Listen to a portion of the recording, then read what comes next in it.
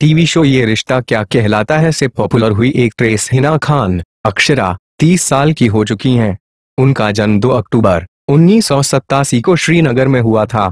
हिना ने गुड़गांव से एमबीए किया है। इसके बाद उन्होंने 2009 में सीरियल ये रिश्ता क्या कहलाता है? से टीवी डेब्यू किया। इस शो में वो अपने हम एक्टर्स रोहन मेहरा, नक्श और शिवांगी जोशी, नायरा की माँ का रोल प्ले कर चुकी हैं।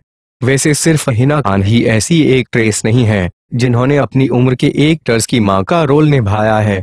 उनके अलावा श्वेता तिवारी, देबोलिना भट्टाचार्य स्नेहा वाघ, अंकिता लोखंडे और आम्रपाली गुप्ता समेत कई एक्ट्रेस हैं, जो इस तरह के रोल प्ले कर चुकी हैं। इस पैकेज में हम बता रहे हैं कुछ ऐसी ही एक ट्रेसेस के बारे में।